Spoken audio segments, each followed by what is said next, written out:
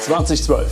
Hier wird Handball zum Hörerlebnis. Tauche ein in die Gespräche unserer beiden Weltmeister Christian und Henning mit den Größen der Handballszene.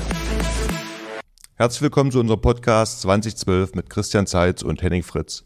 Unser heutiger Gast gewann mit der deutschen Nationalmannschaft 2007 die Weltmeisterschaft, 2004 ist er Europameister geworden, mit dem HSV Hamburg gewann er die deutsche Meisterschaft, den deutschen Pokal und die Champions League. Ja, Fritze, also äh, die Zuhörer haben sich ihn mehrfach gewünscht und wir haben natürlich keine Kosten und Mühe gescheut, ihn einzuladen. Wir begrüßen aus dem hohen Norden den Trainer des HSV Hamburg mit einem einfachen Moin, Thorsten Jansen. Thorsten, schönen guten Morgen. Äh, ja, wir freuen uns, dass du auch zu dieser Uhrzeit uns zur Verfügung stehst. Es ist heute ein Morgen äh, bei uns ziemlich grau. Wie sieht es bei dir im hohen Norden aus? Äh, ich kann mal kurz zeigen, ähnlich. Okay. Wenn man was sieht, grau. Grau und grau. grau. Okay. Wie geht's dir generell Zeit? momentan? So rein persönlich alles okay, soweit. Gibt immer irgendwelche, irgendwelche Baustellen, aber äh, ja, grundsätzlich geht es mir gut. Über das Sportliche kann man immer äh, diskutieren und äh, sprechen, aber ja, sonst geht es mir gut. Ich hoffe euch auch. Ja, vielen Dank, vielen Dank. Das war jetzt gleich meine erste Frage. 15. Tabellenplatz. Äh, aktuell 14 Punkte. Äh, wie zufrieden bist du? Und äh, ich, äh, wenn man die Tabelle anguckt, dann äh, sieht man ja, dass es ein sehr enges äh, Feld ist, nach oben und auch nach unten. Und so. Da ist Wunderkiste quasi Bundesliga dieses Jahr, dass alles möglich ist. Ja, kennt man ja sonst eher aus der zweiten Liga, da ist es ja immer eng, aber dieses Jahr ist es doch ja, so, so eng, wie man es niemals erwartet hätte, aber ja, ist eigentlich auch schön, weil äh, die Herausforderung ist dann doch eine Sache, die man annehmen muss und mit der man dann äh, jeweils auch leben muss. Auch ja, die letzten Spiele waren dann äh, knapp, knapp verloren. Wir hatten noch in der Hinrunde schon viele Spiele, die knapp waren und die wir am Ende dann leider nicht gewinnen konnten. Aber ja, positiv bleiben, optimistisch bleiben und ja, die Energie, die man hat, den, den Jungs versuchen mit auf den Weg zu geben. Ähm, Thorsten, äh, Fazit, Europameisterschaft. Erstmal die erste Frage, wo hast du die Spiele gesehen?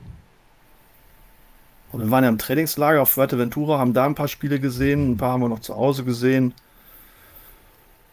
Ja, Fazit.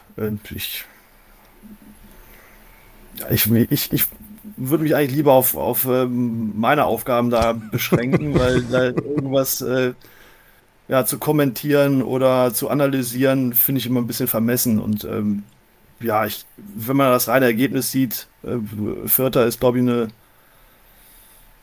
ja, eine gute Platzierung. Ähm, da kann man natürlich immer über das Wie sprechen oder warum hat man denn gegen Dänemark äh, nicht gewinnen können.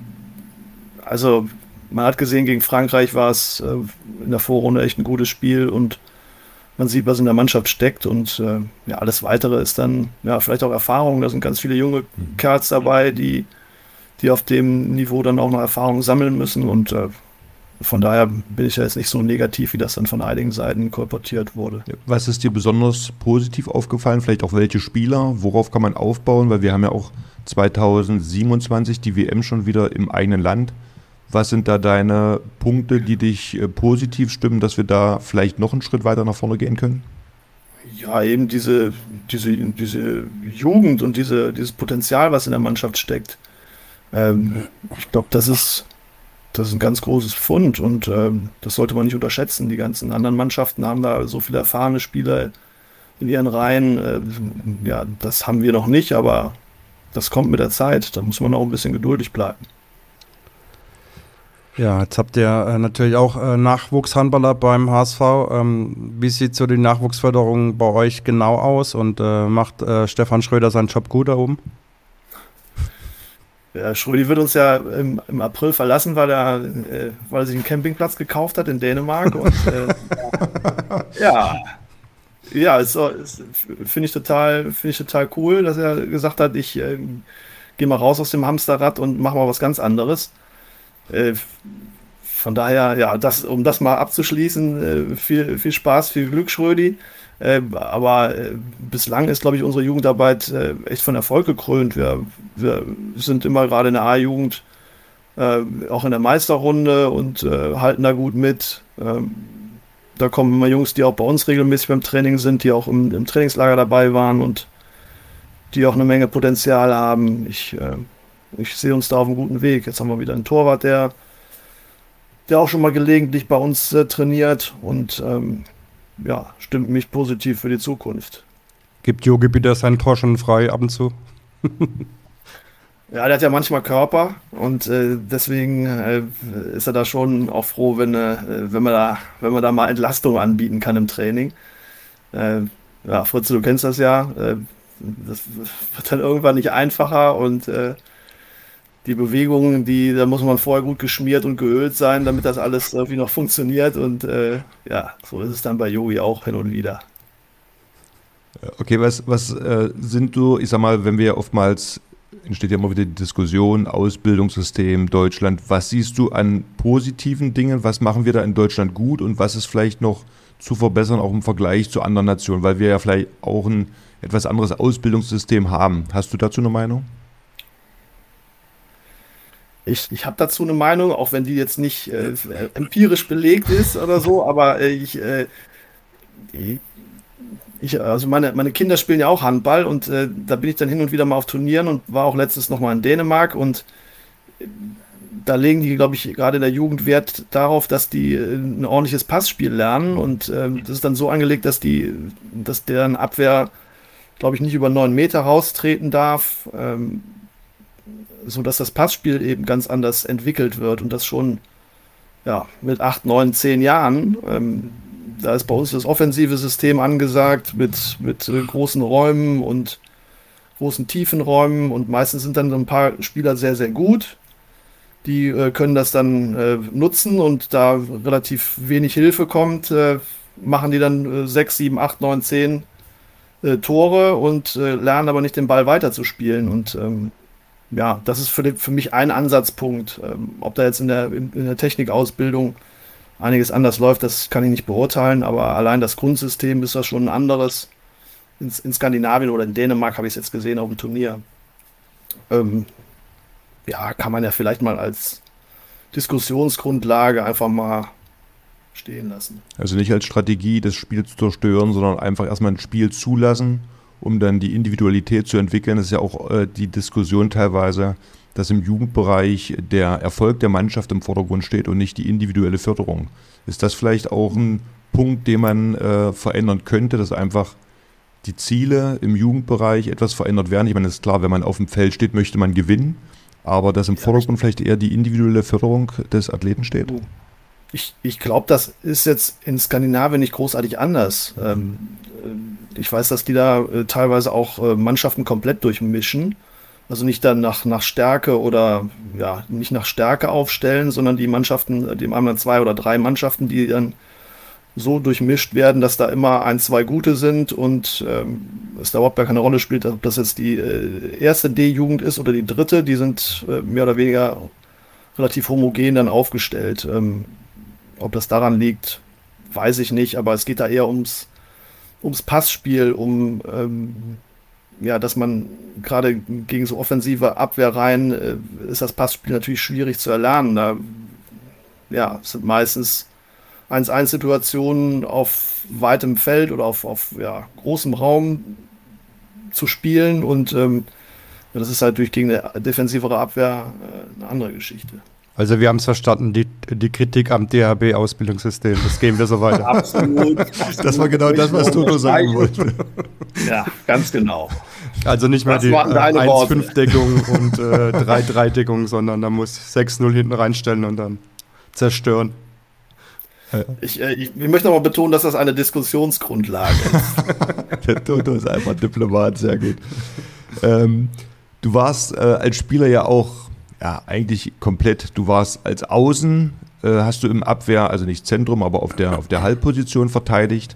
Äh, ich nehme da gerne mal das Beispiel der, der WM 2007, wo du eine hohe Effizienz hattest.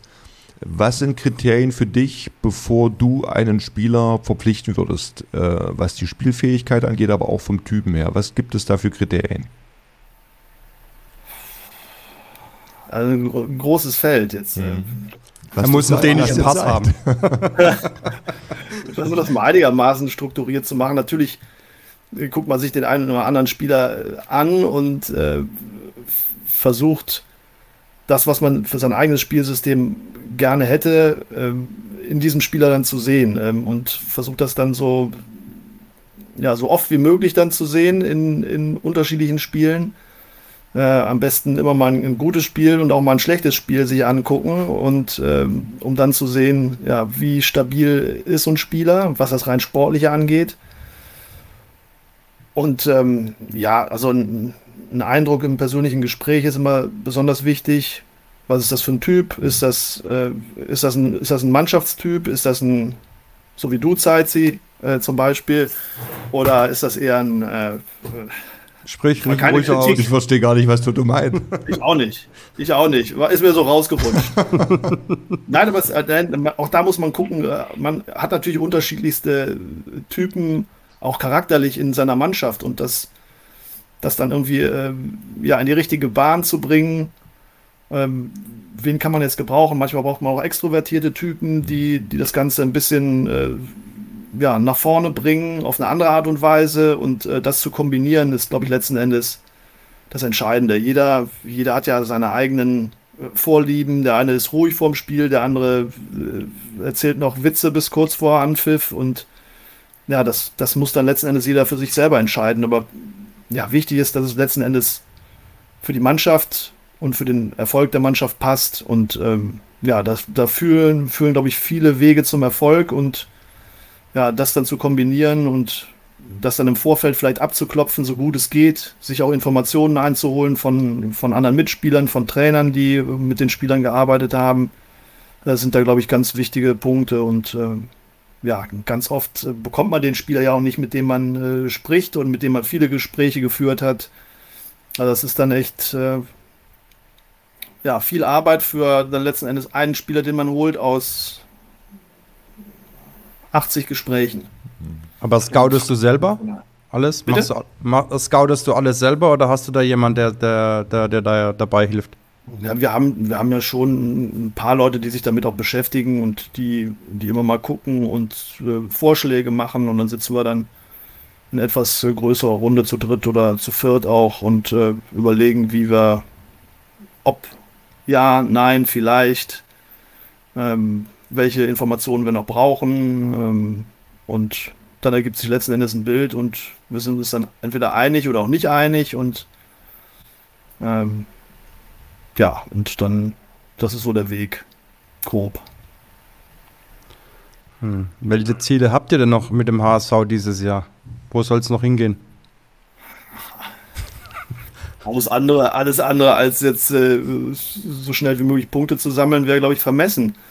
Äh, man weiß ja selber, wie das dann manchmal ist. Ich meine, du hast auch in Minden gespielt äh, und äh, da geht es dann immer nur darum, so das nächste Spiel anzugehen und da das Maximum äh, rauszuholen. Und wenn man in einer, in einer, nicht so optimalen Phase ist, äh, wo vieles gegen einen läuft, äh, dann auch den Kopf zu behalten und eben in entscheidenden Phasen ja die richtige oder die möglichst beste Entscheidung zu treffen, ist nicht immer einfach und wird ja mit jedem Spiel auch nicht einfacher. Und ähm, ja, da versuchen wir, ja, dass die alle den Kopf oben behalten und äh, die Birne im richtigen Moment einschalten und im richtigen Moment auch manchmal ausschalten, wenn es dann um, um, ja, um eine Entscheidung geht, die intuitiv dann getroffen werden muss. Und die kann man, glaube ich, auch nur treffen oder kann man nur richtig treffen, wenn man den Kopf einigermaßen frei hat. Apropos Kopf ausschalten. Ähm, Im letzten Spiel hat Dani Bayens äh, eine Wasserflasche aus dem Spielfeld geholt. Ja. Was sagst du da dazu? Also du warst da eigentlich sehr entspannt nach den zweimal zwei Minuten, die er schon hatte. Ja, ich wusste ja, dass laut Regel das äh, eine, eine Zeitstrafe nach sich zieht und äh, da, da, muss man in dem Moment dann schon den Schritt weiterdenken, weil man genau weiß, ja, es, es gibt jetzt die dritte Zwei-Minuten-Strafe. Äh, die, vorher gab es eine wegen, glaube ich, nicht Abstand und einen ja. äh, Kopftreffer. Das sind natürlich äh, so Sachen, ja. Und dann das dritte so eine, äh, plus dann noch so ein komisches Camper-Tor nach 28 Mal Arm oben und das ähm, macht einen natürlich fertig. Aber äh, ja, in dem Moment muss man dann gucken, so wie was, was machen wir jetzt in den nächsten äh, fünf Minuten, um das Spiel eventuell noch zu gewinnen. Da äh, kann ich den ja nicht äh, zur Sau machen, weil der ist eh schon, der war eh schon durch, weil er auch wusste, dass er da eine Scheiße gebaut hat, aber äh, ja, er ist einer, der immer vorweg geht und da kann ich ihm jetzt keinen Vorwurf machen. Aber ein Kabinenfest muss er schon noch rausgeben für die Aktion. Macht er sowieso mit lecker Poffertjes und ein bisschen Gouda oder so. das kostet garantiert was für die Mannschaft, falls so eine Aktion zwei Minuten zu bekommen. Ja. Äh, Toto, dein, dein Co-Trainer ist Blasenko Laskovic. Ähm, das Thema Olympia 2004, ist das ab und zu Thema oder ist das vergessen? Nicht ganz selten. Also kann ich an einer Hand abzählen, dass wir das mal thematisiert haben. Die letzte Woche. ja, okay, aber gut, ja, das sind wir auch schon wieder hm, 20 Jahre her, aber war es ab und zu mal Thema oder? Ja, da ging es aber meistens eher um, um, um, irgendwelche Sachen, die dann vor dem Spiel äh, waren. Ich kann okay. mich erinnern, dass wir da irgendwie am Olympischen Dorf, alle waren irgendwie in Feierlaune, wir hatten das, das letzte Event da und äh, haben auf irgendeinen Bus gewartet und es kam irgendwie dann irgendwann mal ein Bus und die Kroaten standen auch da und wir gesagt, ja komm, fahrt mal, nehmt ihr mal den ersten Bus und unser Bus kam nicht. Und, äh, und dann haben wir, kam hinterher so ein, so ein kleiner Bus, der dann irgendwie, ist der auf der Hinfahrt oder auf der Rückfahrt verreckt? Ich weiß es gar nicht mehr. Helft mir kurz. Mit zwei Promille im Kessel äh, wusste er nichts mehr. Hallo. Nein. Okay. Ja, aber, aber das Spiel an sich, ich habe das schon wieder komplett vergessen. Ich weiß nur, ja. dass es knapp war und äh, dass der Kaleb äh, irgendwie am Schluss zweimal äh, trifft und das war's dann. Ja, die Außen, ich kann mich noch daran erinnern, ich habe an dem Tag Andrei Lavrov getroffen im Olympischen Dorf. Der war schon in Feierlaune, weil die hatten ihr kleines ja. Finale schon gespielt. Und er hatte mir gesagt, weil er kannte die beiden, das war Sprem und Kaleb aus äh, Zagreb. Weil er sagt, ist ja. ganz einfach, machst du so und so und so und die sagen, hm, aha, alles klar. Und dass ausgerechnet die beiden dann die letzten Tore auch machen, das ging mir natürlich extrem auf den Sack, aber ja, äh, ärgerlich war tatsächlich, 35 Minuten hatten wir ja die Kroaten relativ gut im Griff. Und dann hatten sie Oberhand oder Oberwasser und äh, ja, so ist der Handballsport. Ja, ist auch schon verjährt. Zählt nicht mehr. Deswegen reden wir ja auch nicht mehr drüber. Toto, wie siehst du äh, generell die Entwicklung äh, des Handballs? Mann, er stellt auch Fragen. Das ist also, es hat sich natürlich einiges geändert. Aber, äh, nehmen, wir mal, nehmen wir mal 2004 und 2024. Ja, ja, ich, das ist wie in jeder Spielsportart, da entwickelt sich so viel, ob das im Fußball ist, im Handball ist.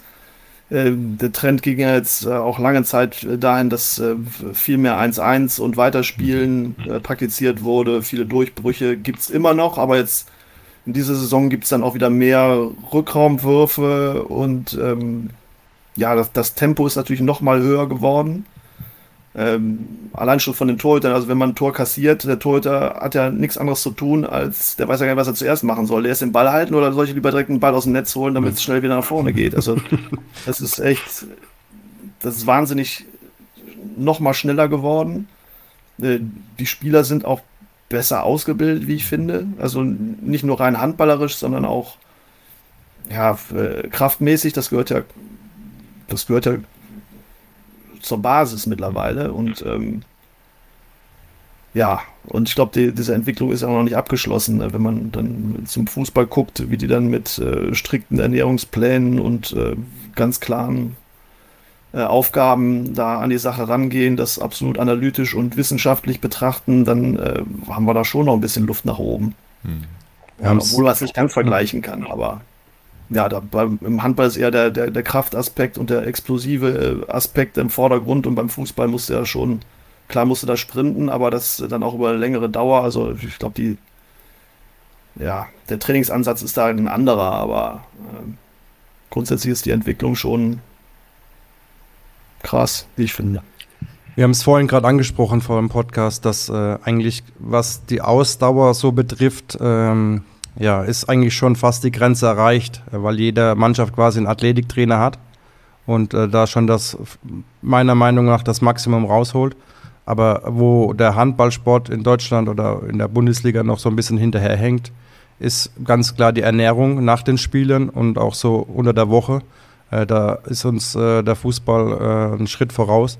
Und auch was die Regeneration betrifft, ja, wenn man jetzt alle drei Tage ein Spiel hat, dass wir dann noch ein bisschen äh, uns äh, weiterentwickeln können und auch müssen. Und ich glaube, da ist äh, wirklich noch großes Potenzial da, was, was den Handball betrifft. Mhm.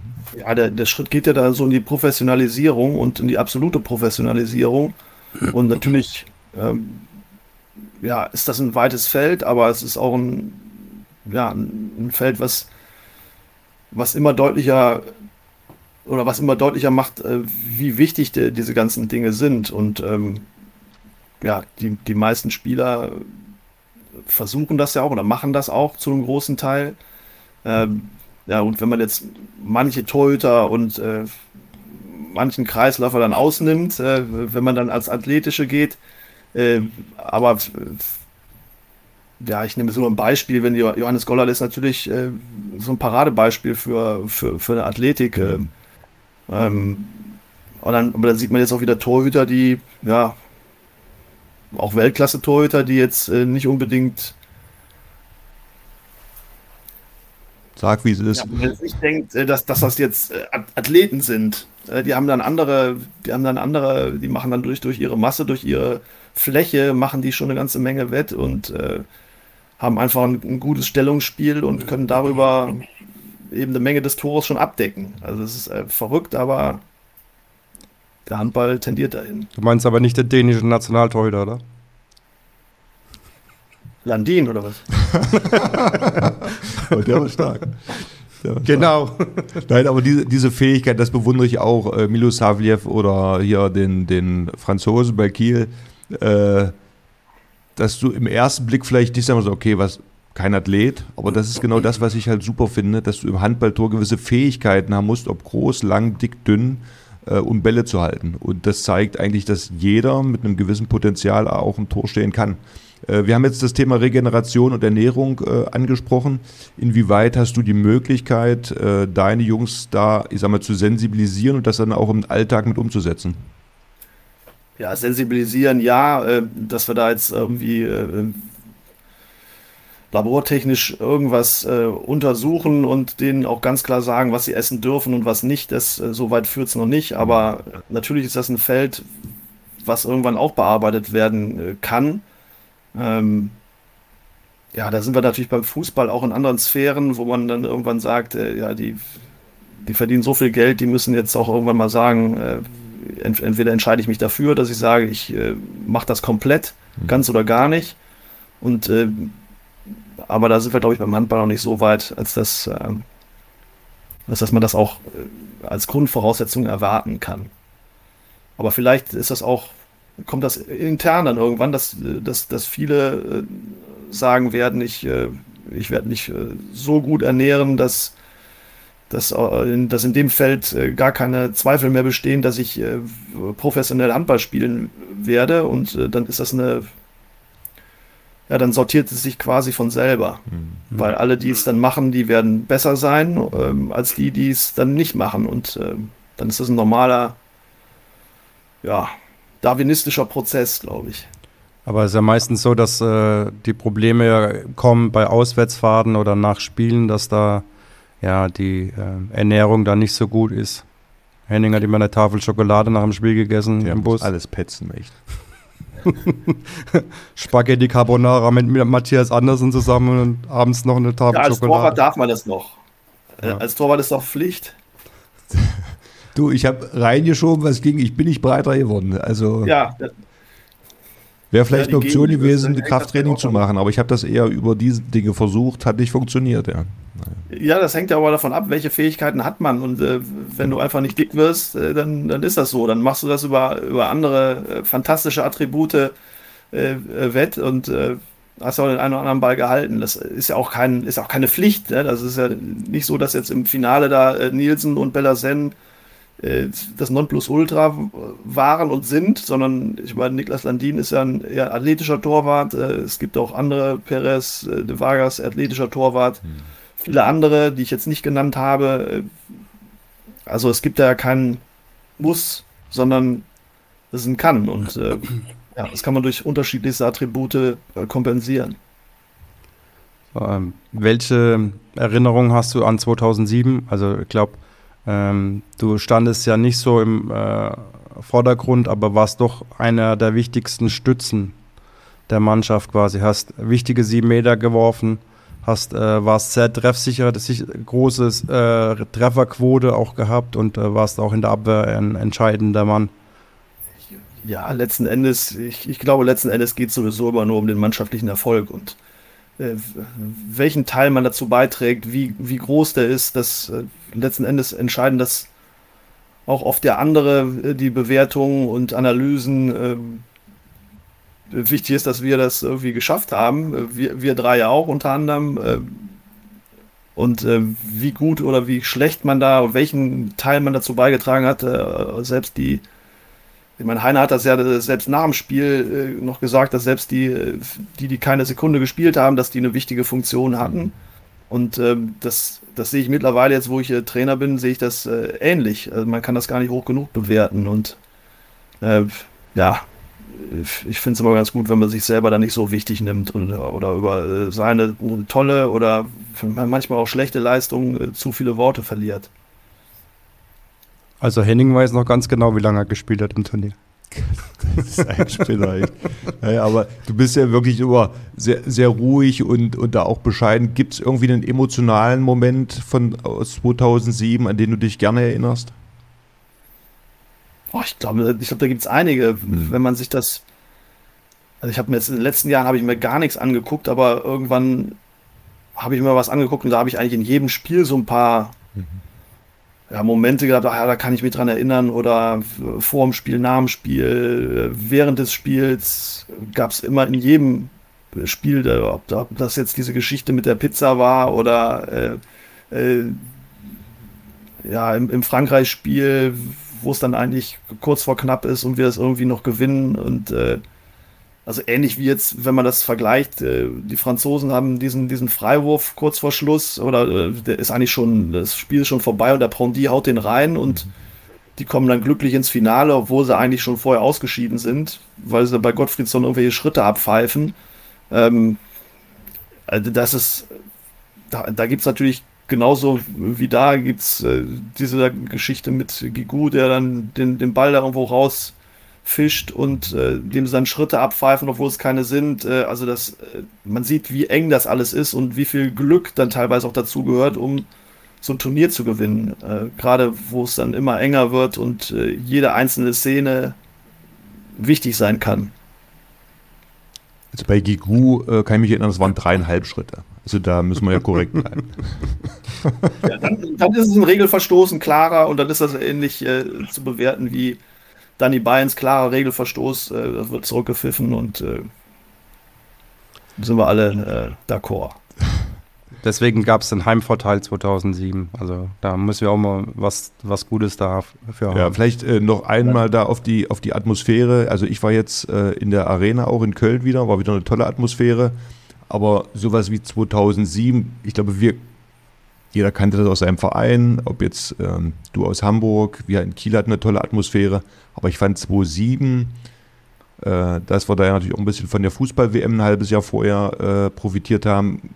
Was hast du da äh, für Erinnerungen? Hat dich das in irgendeiner Form getroffen oder warst du so fokussiert, dass du das gar nicht wahrgenommen hast? Ich habe jetzt, ich hab jetzt die, die Spiele auch nur am, am Fernseher verfolgt, mhm. ähm, aber mein Eindruck war auch, dass es 2007 lauter war, aber das mag jetzt auch subjektiv sein. Wenn ihr in der Halle wart, könnt ihr das äh, besser beurteilen, aber ja, vielleicht entwickelt sich der Handball auch eher dann zum Eventpublikum, ähm, dass das nicht mehr ganz so frenetisch und äh, fanmäßig ist, aber den, den Eindruck hatte ich, aber ich mag auch falsch liegen. Das lag vielleicht genau. daran, dass äh, du damals auf dem Spielfeld warst oder wir auf dem Spielfeld waren und nicht äh, auf, bei den Zuschauern. Aber ja, es war schon, äh, es war ja wieder ein bisschen schick, äh, die deutsche Fahne zu schwenken, die Hymne zu singen. Also gefühlt, wir haben eine andere Rolle gehabt. Wir standen damals unten, heute stehst du oben, da wird natürlich alles ziemlich laut gedreht. Aber ich, mir war das auch so, dass gefühlt die ganze Halle lautstark die deutsche Hymne gesungen hat und das war schon äh, eine sehr coole Sache.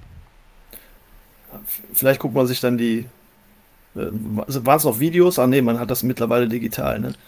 Äh, Der VHS-Kassette meinst du? Bitte? Meinst du eine VHS-Kassette? Oder ja, genau. müssen wir, dann müssen wir noch mal gucken, ob es die Technik noch gibt. Ja. Ähm, du, du bist ein sehr besonderer und ruhiger äh, Vertreter im, äh, in der Trainerbranche auch. Äh, wie sieht bei dir eine Besprechung aus vor dem Spiel und auch Auszeiten? Also was ist da, bist du auch jemand, der mal, ich sag mal, die Truppe zusammenscheißt oder bist du da immer sehr ruhig und analytisch? Wie ist da deine Philosophie? Hast du eine Philosophie oder machst du es einfach so, wie du bist? Ja, ich, ich, ich ich habe auch gemerkt, äh, man muss ja immer mal gucken, äh, dass man das reflektiert, was man dann äh, gemacht hat. Und äh, ich habe einige Male, wo ich dann zu emotional geworden bin und wo ich mich zu sehr geärgert habe, äh, da, da, fehlt dann der analytische Teil. Und äh, ich, ich, versuche, das immer einigermaßen im Zaum zu halten, weil ich äh, weiß, wenn ich äh, zu emotional werde, dann bin ich eben nicht konstruktiv genug. Und ich versuche da diesen diese Balance zu halten. Aber äh, gelingt mir auch nicht immer. Äh, Gerade jetzt, wo man, wo wir jetzt auch wirklich viele, viele wichtige Spiele haben und wo man dann äh, unten steht und diesen Druck so ein bisschen merkt, äh, muss man sehen, dass man sich da im Zaum hält, weil man will ja das Spiel gewinnen. Ich will, die Jungs geben alles und die, die hauen auch alles rein, aber wenn ich die dann noch zusammenscheiße, vielleicht werden die auch mittlerweile oder sind äh, alle sensibler, weil wir haben das ja alles schon erlebt äh, was, was man da so alles von Trainern hört, ähm, das hat sich ein bisschen verändert. Und äh, ja, da, da hast, du, hast du Beispiele aus der eigenen Karriere, wo, wo Trainer mal ja. so ein paar Highlights rausgehauen haben? Ja. Hast du ein Beispiel? Habe ich. Ach so, äh, das kann ich leider nicht nennen. du musst ja nicht den Trainer nennen, sondern vielleicht, wie die Situation war. Ja, nein, weil man, dass man nach dem verworfenen Ball mal richtig einen auf den Deckel kriegt, äh, das war schon mal. Hast du einen Wortlaut, den wir nicht zensieren müssen? Ach so, nee, nee, ich weiß, ich, ich kenne den. Wortlaut auch nicht mehr so genau, aber das waren deutliche Worte. Sagen wir es mal, sagen wir es mal andersrum. Äh, von welchem Trainer hast du am meisten gelernt äh, in deiner aktiven Zeit und kannst auch jetzt in, als selbst oder selbst als Trainer äh, was mitnehmen oder hast was mitgenommen?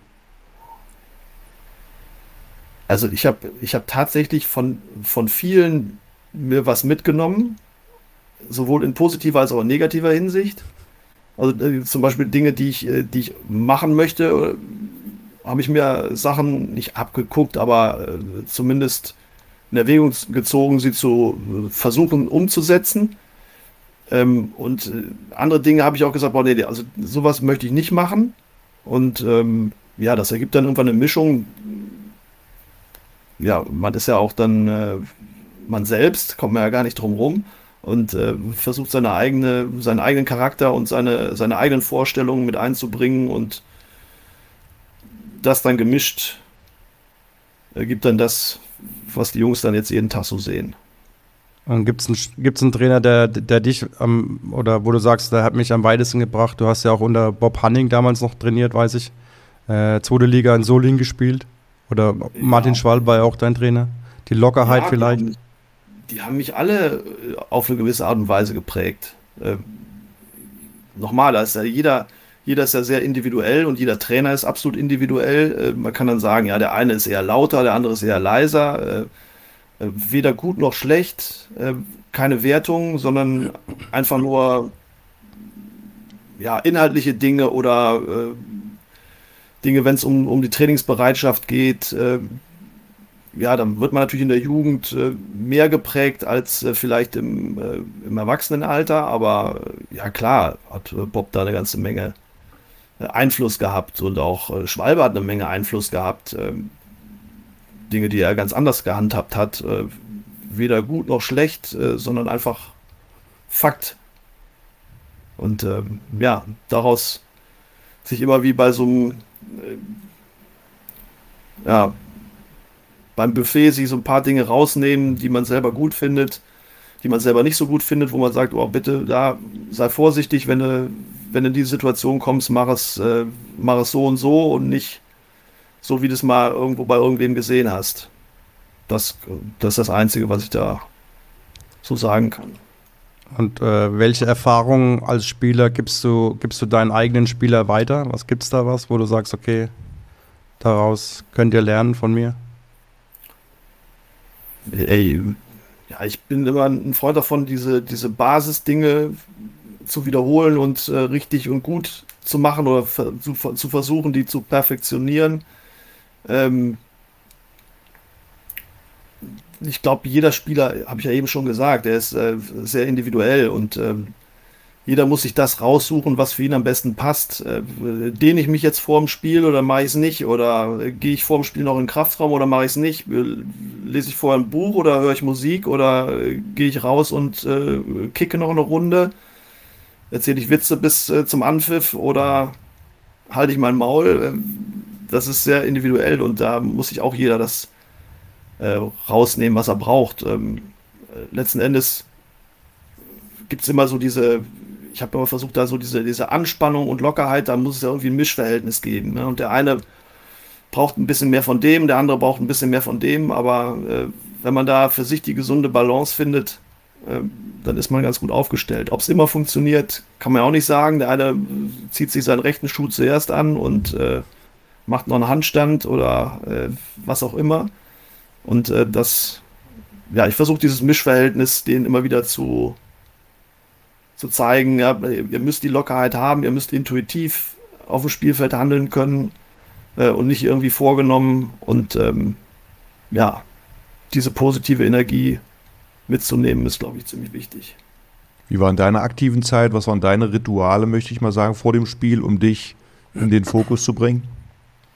Oh, ich war da eigentlich eher ruhig. Ich, ich weiß genau, andere, auch im, im, Verein, die haben dann in der Kabine mit Bällen rumgespielt und haben da rumgeflaxt. Das war jetzt nicht so mein Ding, aber ja, nochmal, jeder so, wie er das für sich am, am besten findet und wie er seine Erfahrung gesammelt hat und äh,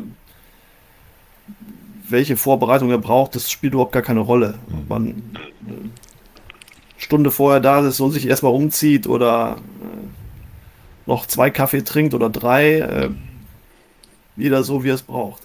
Also ich kann mich da gut an die Situation erinnern, 2007, wie Olli Rogisch da, glaube anderthalb Stunden mit dem Ball rumgespielt hat und äh, du saßt ganz entspannt da und hast dein Buch gelesen, wo ich auch dachte, vorm Finale liest er noch sein Buch da, ganz entspannt. Ja, aber ja, das, ist doch, das ist doch ein gutes Beispiel. Ja. Der, der eine ist äh, hibbelig, der, der Olli, der, der wusste nicht, wohin mit seiner Energie und äh, hat das aber trotzdem natürlich im, im Spiel überragend umgesetzt mhm. und auf der anderen Seite ich oder ja, mein Zeit, du bist ja auch dafür bekannt, dass er eher äh, jetzt nicht so viele Worte gemacht hast, sondern eher gemacht hast und das ist auch völlig okay. Vielen Dank. Fritz äh, ist vorher noch ja, ausgefahren.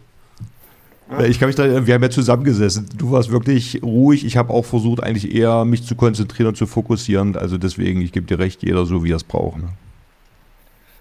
Ja, und ich kann mich noch erinnern, du hast, du hast dann auch, glaube ich, äh, in diesem Kamerateam nach irgendeinem Spiel, ich weiß gar nicht, gegen wen es war, du warst gegen Spanien oder so, wo du auch also, dieses, äh, dein Innenleben kurz äh, ausgekrempelt hattest äh, und gesagt hast, ja, boah, ich, immer wieder diese, diese Anspannung und Entspannung, als Torwart ist das ja besonders, ja, dass du im Angriff, oder wenn unsere Mannschaft im Angriff ist, äh, du diese Entspannungsphase hast und dann heißt es wieder so volle Konzentration, jeder Ball, du bist die letzte Instanz da im Tor. Mhm äh, da, da braucht man auch so eine, so eine mentale Stärke, um, um das immer wieder machen zu können. Dieses Hochfahren, wieder runterfahren, Spannung, Entspannung und äh, ja, jeder hat da seine eigenen Vorlieben und das kommt mit der Erfahrung. Du hast vorhin mit dem, äh, mit dem Kopf frei zu bekommen. Ähm, nehmen wir mal dieses Spiel 2007, äh, Halbfinale gegen die Franzosen. Da kannst du dir ja auch nicht über jede Aktion wirklich Gedanken machen, weil wenn du dir jetzt Gedanken machst, ach Gott, wenn das jetzt nicht funktioniert, dann wirst du nie zu 100 Prozent diese Leistung abrufen, sondern am Ende musst du in dem Moment wirklich tun. Ja, so und da musst, dafür musst du dich in einen Zustand bringen, der halt nichts in Frage stellt, sondern einfach nur nach vorne denkt, ja. Ja, und das ist, das ist jetzt mittlerweile im, im, äh, im modernen Handball ist das ja noch krasser geworden. Mhm. Ja, die eine Aktion ist gerade beendet, also Torwurf, von mir aus Tor.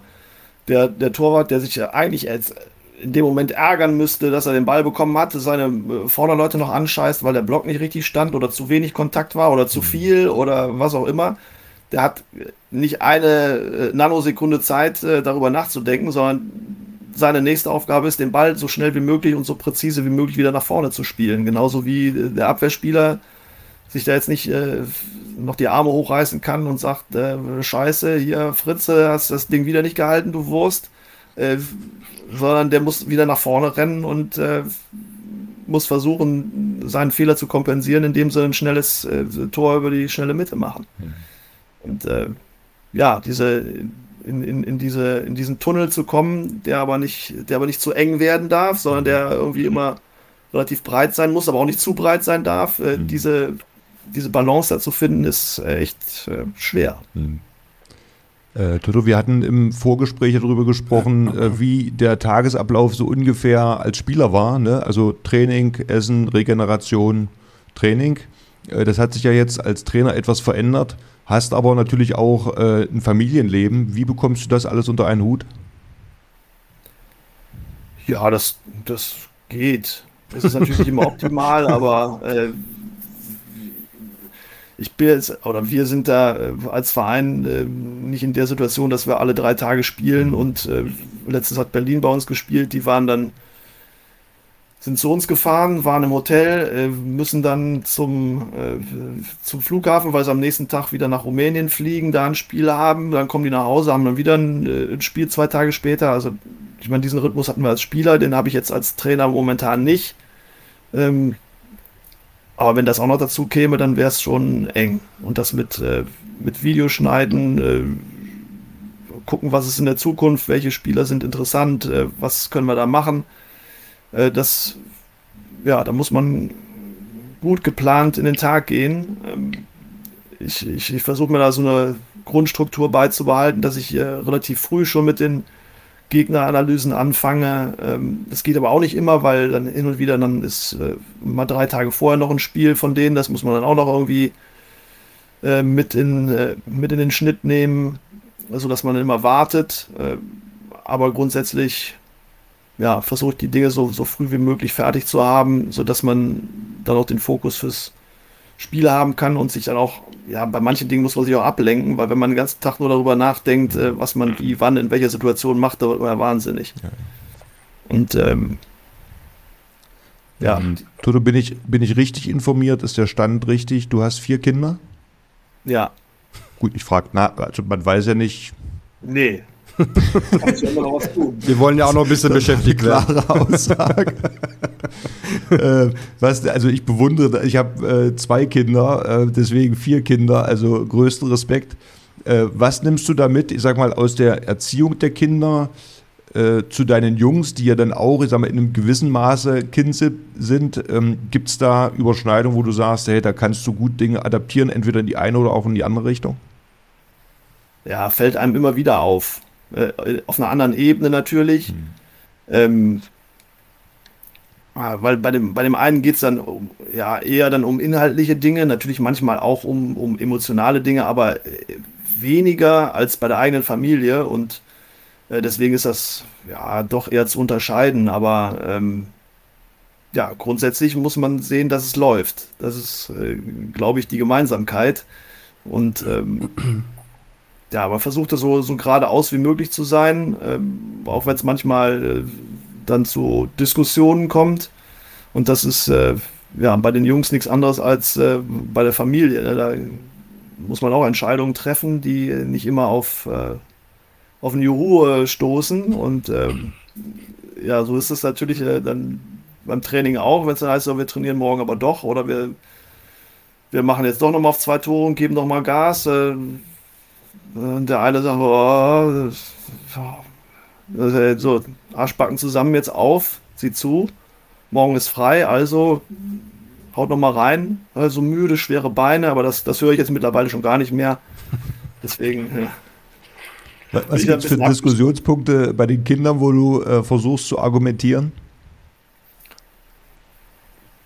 Ja, Handy natürlich, äh, mhm. kennt ihr wahrscheinlich auch. Äh, ja, elektronische Was, Geräte. was, sind, was sind die Lösungen? Äh, also wenn du jetzt nur sagst, Nicht- Verbot, nicht ist vorhanden. natürlich blöd, Nicht aber. Wir- sind, wir sind zu keiner Lösung gekommen.